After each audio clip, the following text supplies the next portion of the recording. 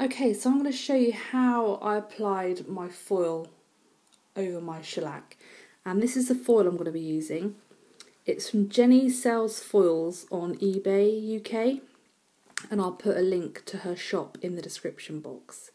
And it's an absolutely mesmerising foil when it catches the light. Really, really pretty. And what I like to do is prepare my foil. You don't have to do this, but this is just an extra measure that I do just to ensure adhesion.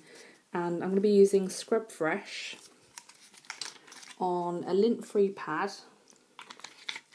So if you're using gel polish, just use your cleanser that you use. And then just on the back of this foil, I'm just going to take the back a bit off. If you can see there, it goes from dull to shiny. And that just removes any debris or dust, like packaging dust that may be in there, or finger oils from where you've been handling it. So that's the foil prepped. Okay, so on my nail here, I've got two coats of CND shellac in Blackpool and they're cured in between each one. So the tacky layer is still on the outside there. So I'm going to get my prepped foil and all I'm going to do is place this on there. So I'm just going to give it a quick rub with my thumb and sometimes that's all it takes is a quick rub. Now if it's still stuck on there just take a little cotton pad and just give it a quick rub like this.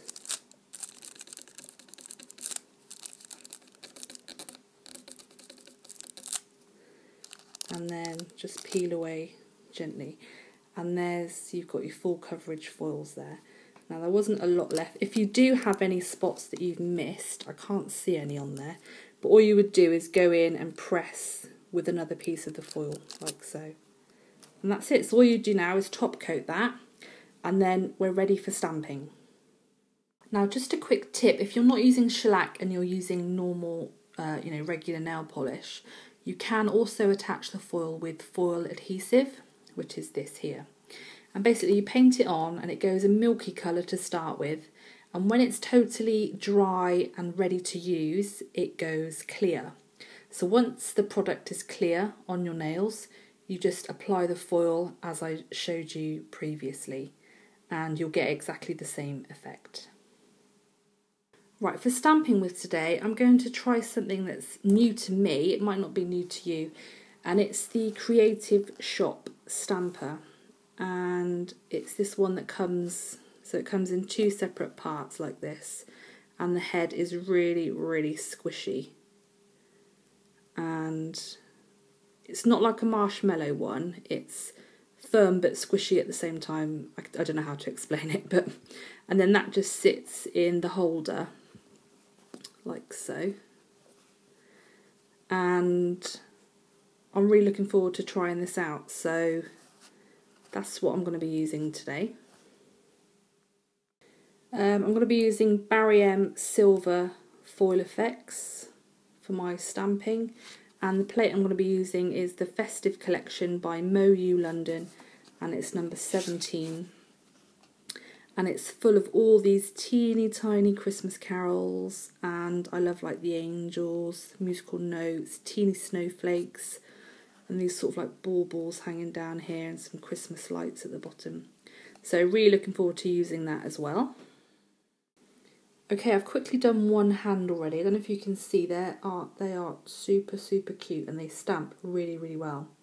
So that says Oh Christmas Tree on that one. That's on the third day of Christmas. That's the Noel one. Then on there I've just got Christmas carols and just like the little baubles on that one. And I just wanted to mention this scraper as well. It is super, super flexible. It's brilliant. So really happy with that. So let's get straight on to the stamping. So I'm going to start with my pinky first and start with the baubles, which is on the right hand side of the plate. So there they are. And I'm going to stamp straight down with this one. So I'm just going to push my finger into it There you go. So then you get a straight line for the baubles on there. Really nice. Okay, so the next one for my ring finger, I'm going to do this Oh Christmas Tree one here.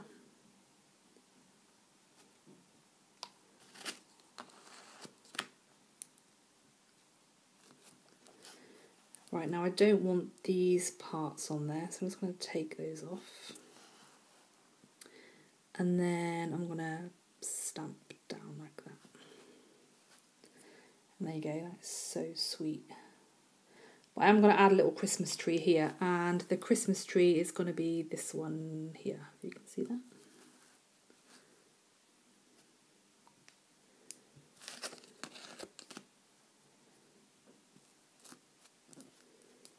There it is, and to stamp that. I'm just going to do this off camera so I can see what I'm doing.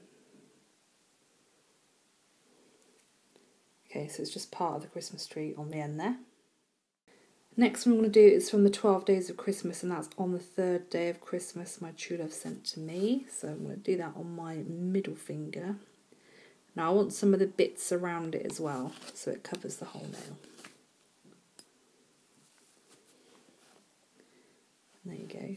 And I want to stamp down this way again and just push it in like that.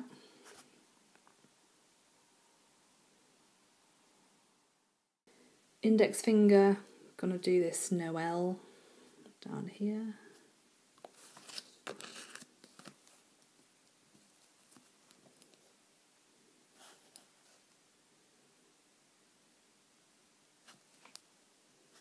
Really nice. And then finally this Christmas carol for the thumb. I've got quite big thumbnails so this might not fit everyone's big thumb. And I'm going to go backwards like that and just squash it. So squashy this one, it's brilliant for things like this. So there's the Christmas carols. So I'll top coat those and show you at the end. Okay, so here are the finished nails and they look really sweet. Those little Christmas carols are just so cute. Um, I hope you can see them. I will be putting pictures on so you can see them better. But they look really cool. And yeah, this is the last Stamping Fun Friday Christmas theme um, for the year 2014. So I'll be back in 2015 with some new ideas, etc. So stay tuned for that. And thank you so much for watching all my Stamping Fun Fridays and to all my subscribers and everything. So thank you ever so much, and I'll see you in the new year. Bye.